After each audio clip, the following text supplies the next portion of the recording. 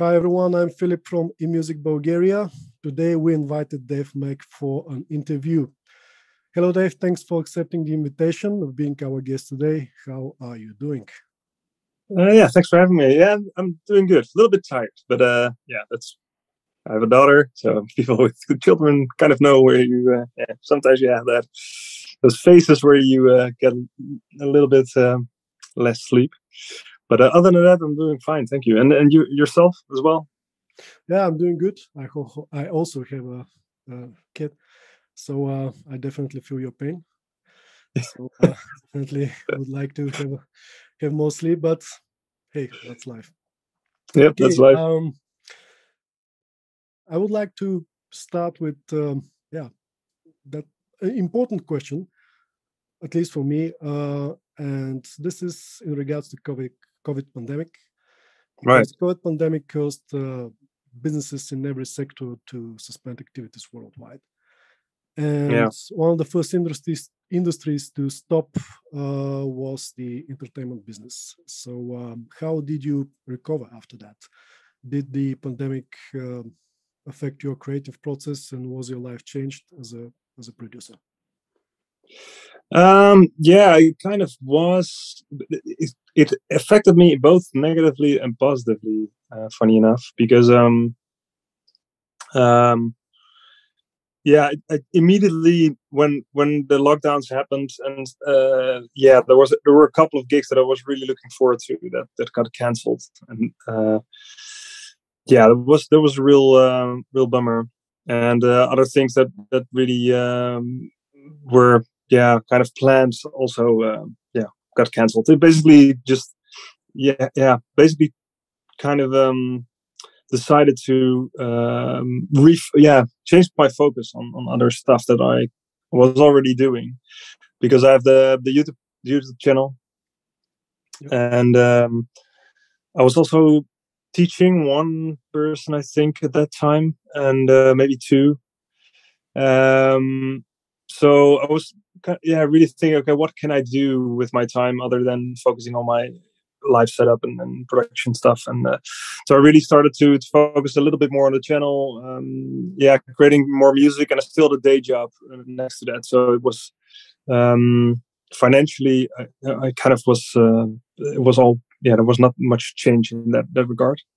Um, but then uh, then I found actually time to to create the um, the courses that I do for uh, Digitakt, and that um, that was something I had in mind like two years before already. People really was were asking like, how do you create those sampling uh, sampling grooves that I create with my um, I record stuff in the city and stuff, and then I create a complete tr- techno track with only those samples. And a lot of people wanted to see the the detailed pro- process with that.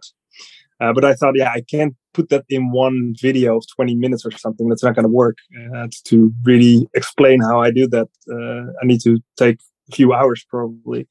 So I wanted to do a course, and people were really interested in that. So that that was actually the the, the pandemic pandemic forced me to uh, uh, yeah uh, start recording those basically. And then it really took off. They they, they sold well enough for me to go full time uh, and uh, a lot more people wanted to um, um, I, I, teach also about 10 students um, and it started with three four and then during the whole pandemic yeah it's kind of the more people were sitting at home right? So they they uh, decided to take lessons in, in music productions. And i already had yeah wanted to do that anyway and i had in, in my description in my youtube channel so through my youtube channel they they um, uh, they asked me uh, to, to coach them basically and then uh, yeah that plus the, the, courses and some sound packs that i created during that time um, um, made it possible for me to, to give up my day job and also take the leap. It's always a, li- a little bit of leap, but um, yeah. So it, that, that was the positive side. The, the negative side, of course, the no no gigs happening. Um, everything is online, which is different, you know. Um, yeah. So it's, it's very uh, weird weird time. Yeah. Yes indeed indeed. Uh, talking about your courses um, i immediately yeah. i'm switching to Elektron gear somehow. So tell me tell me more about your life setup right now. Uh, so what are you currently using? Maybe Syntakt? Okay. Yeah, uh, yeah actually yeah. I, I, I totally switched up to a different setup right now. So I at first um, uh, used mostly Elektron gear together with my uh, Xone DB4 that I really really like um, because it's basically a laptop uh, substitute, some some some sort. So I used Digit. I, I, at one point had two Digitakt and two, two Digitones and an analog heat and, and, a DB4, and then I kind of switched things up a little bit with uh, one Digitakt, one Digitone, and then an Octatrack and a heat. And then Syntakt came, so it became Digitakt, Digitone, Syntakt, and Octatrack. And I had this pedal board where I put everything up. It was pretty cool. It looks looks really nice. But um, yeah, I kind of like a month ago or one, I think two months ago. Yeah, somewhere in the beginning of this year, three months ago, probably. I kind of decided that I wanted to um, um, improvise more during a live set. So basically, how my setup was uh, um, structured was I had grooves, so basically sort of loops that really work well, and then I arranged them live. Uh, so that was kind of the improvisation thing, and I, I, mixed them together and morphed them into different other grooves, and kind of mixed um, different parts of different grooves together, etc.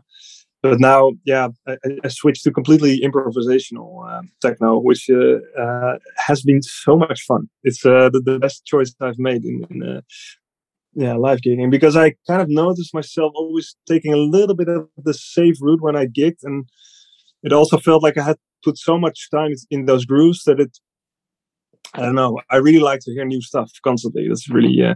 So uh, yeah, now I'm using uh, the Erica Synth Perkons, uh, which is amazing. And um, this is kind of the centerpiece, and then a Syntakt, a Digitakt, and a 1010music Lemon Drop, the granular synthesizer, the little one, mm-hmm.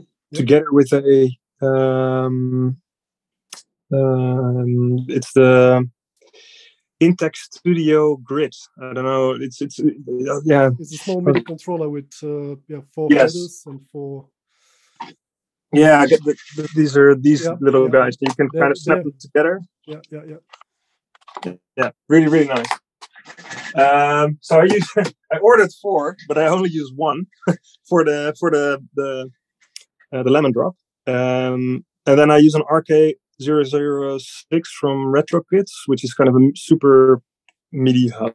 You can connect a, a USB hub to it and connect the USB controllers and MIDI controllers and send clock and yeah, send that to up to 10 uh, uh, machines at the same time.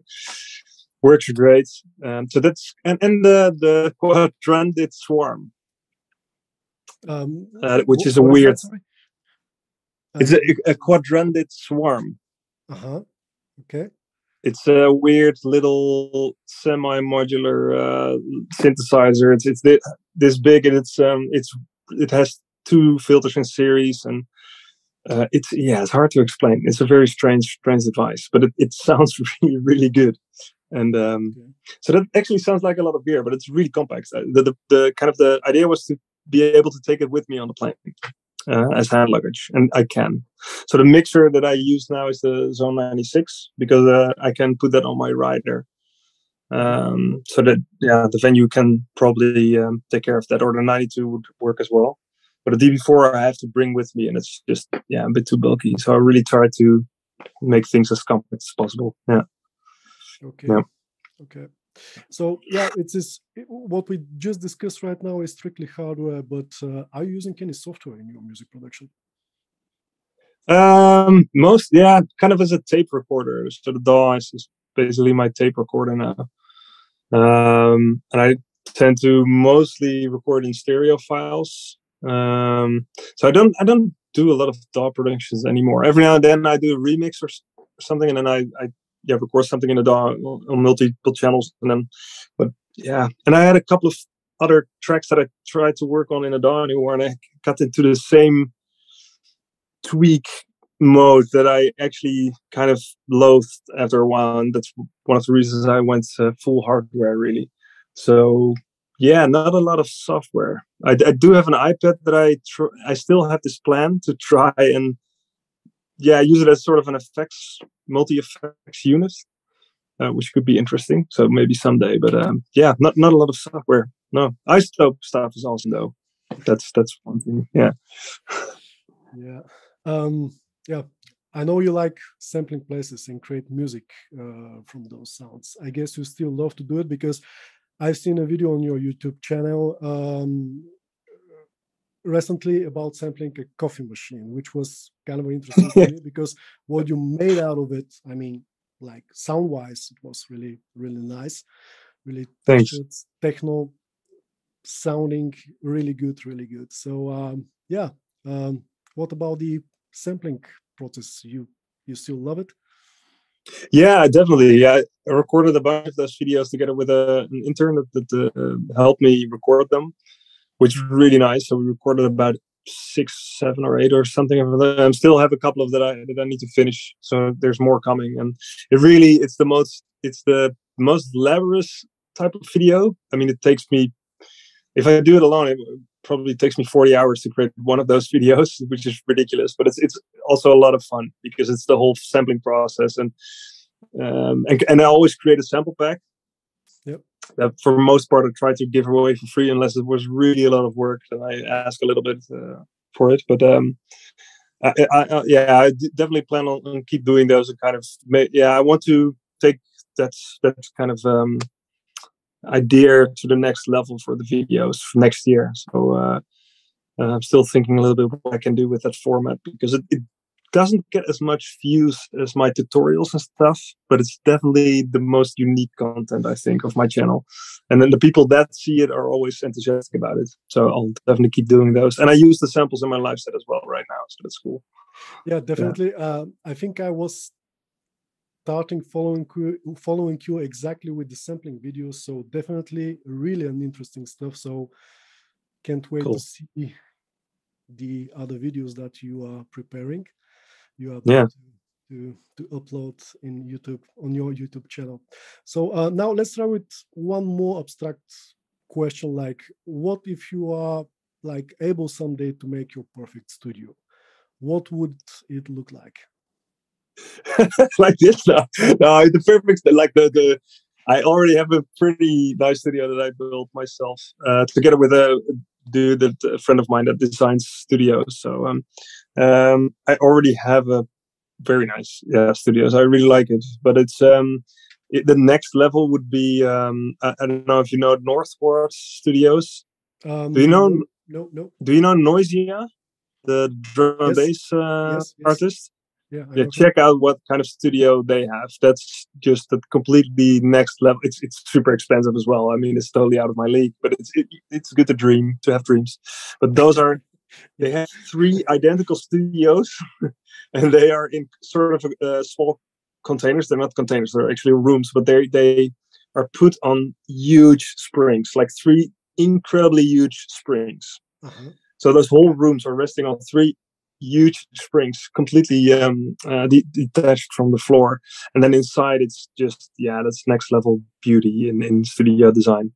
And the northward um, designer also uh, creates studios where he has um, glass windows basically where the speakers uh, are mounted into and they kind of uh, hang from huge steel cables. So you actually sort of have floating speakers that are not touching any surface. So that that provides probably you yeah very cool nice uh, sound as well probably. Uh, it looks insane. Yeah. you know yeah, one can dream yeah. of course. Of course we can do that. It's free. Um, okay speaking speaking of, of, of a dream studio and uh, maybe we should uh, talk about pieces of gear that um, maybe you can you can have in that studio. So uh, if you could only have like a few of them few pieces of gear what would they be? And how many, and how many what, yeah. what is the few yeah maybe maybe just just just count let's let's say three of them three three pieces of gear yeah. okay i definitely would choose um um yeah, I want to say Perkons but uh, if you only have three choices, oh man, yeah, it's pretty difficult. I think uh, I think Digitakt for sure. Um, yeah, Digitone probably because it's very versatile. Okay, for now, Elektron is definitely a winner. yeah, yeah, yeah. I mean, sampling, right, with Digitakt. Uh, you could also say Octatrack, but I I just like the really quick workflow of Digitakt for some reason. I don't know. And, and, and Digitone also, also song mode like uh, since yesterday, so definitely yeah. improvement for all the digiboxes. Yeah. Yeah. that's really cool. Yeah, it's a nice, nice upgrade. Yeah, I'm personally not a big song mode user per se. I really like to, mm. but I, I, try to do some creative stuff with it, and it's you can actually use it as a sort of an extra sequencer layer, which is pretty cool. But I think, um, yeah, Digitakt, Digitone probably, and um, I need to have a effects processor of some sort. I don't know, some, uh, I don't know, maybe the, um, uh, yeah, I don't know. Let's say the the the the the the, the, the lemon drop because it has a delay and reverb and it's a granular thing. And yeah, that would be nice. Yeah. Yeah. Okay. Okay. Um, Macintosh or Windows? What do you prefer?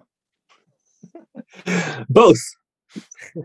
My answer is yes. I, I, it really doesn't matter much because each has their pros and cons. Yeah. I worked with both for many, many, many, many years. Um, Windows I really like because it's just um, uh, it doesn't really force you to do anything. Uh, it's a bit more open, um, and the, the, the, Windows Explorer and stuff is really good.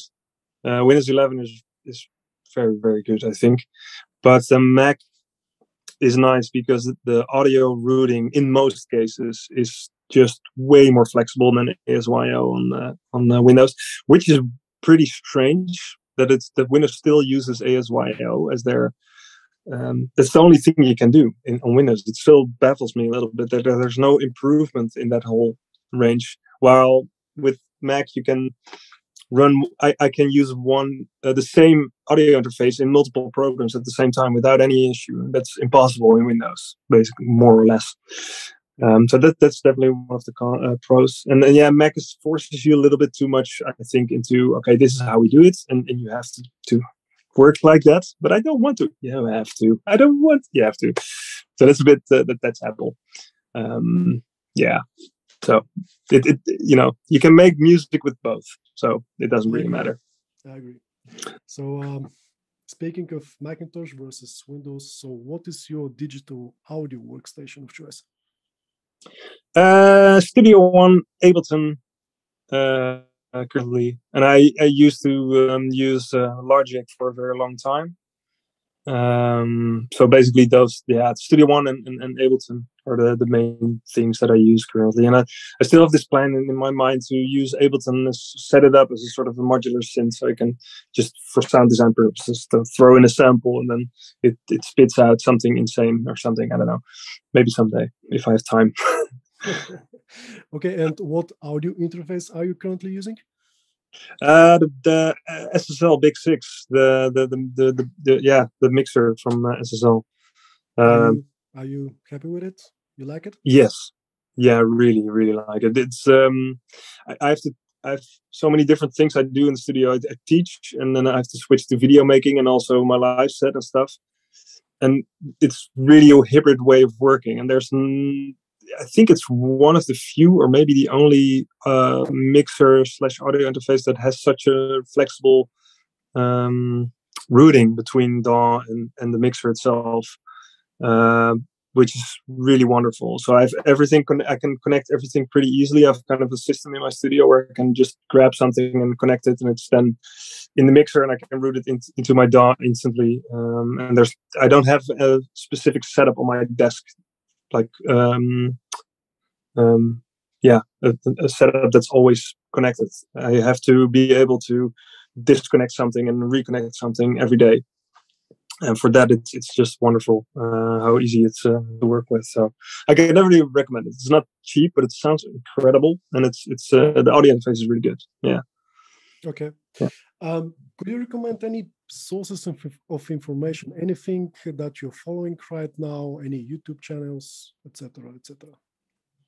Um, yeah. So yeah, because I've I've, I've been into the the, the improvisation. Um, yeah, the, really just winging it, basically setting up some gear and just uh, sequencing everything from from the from the ground up. So the whole, whole improvisation thing, uh, uh, it was really scary for me. But the, the, the one person that really made me feel like okay, I, I can do this uh, was uh, a surgeon, okay. DJ Surgeon because he has been doing this for many years now for uh, i think eight or nine years or something and he, he has all these talks on youtube and uh, also he has a, had a podcast with Mylar melodies which is also a very nice channel and another a couple of other podcasts that he did interviews and he has a really interesting look on, on improvisation and a really relaxed view like yeah it things can go wrong but he actually kind of likes that as well when it goes wrong and he has this really um yeah relaxed vibe about it and uh, that really gave me confidence like I, I, just have to do it. It's so much fun and the scary bit that's that's going to be fine um, and yeah just a very um, seems like a very cool guy very informative a lot of information he gives in, in those talks so i can really recommend if you want to go that improvised uh, route yeah yeah um, i definitely i definitely will check the information that uh, he's yeah. sharing seems uh, seems it is like good one. Um, yeah. One last question. Anything else that you want to mention? Where we can find you, your courses, your music, and so on and so forth. Right. Uh, yeah. So yeah, I have a YouTube channel, youtube.com slash Dave Mech. Um, where I share all my sampling endeavors and tutorials and stuff. And uh, I have a website, davemech.live, and there you find the shop in my artist page. So davemech.live slash shop, you can find free sample packs, but also sample packs that uh, that are paid, but a bit more, um, um, yeah, they're mostly bigger. And courses for Digitakt and Digitone. I'm actually uh, starting production for the Digitone Part Two, which is going to be uh, pretty cool. And then I'm going to start with the Syntakt, and then uh, I don't know what I'm going to do after that, but we'll see. But uh, I keep going to create those because it's a lot of fun to do.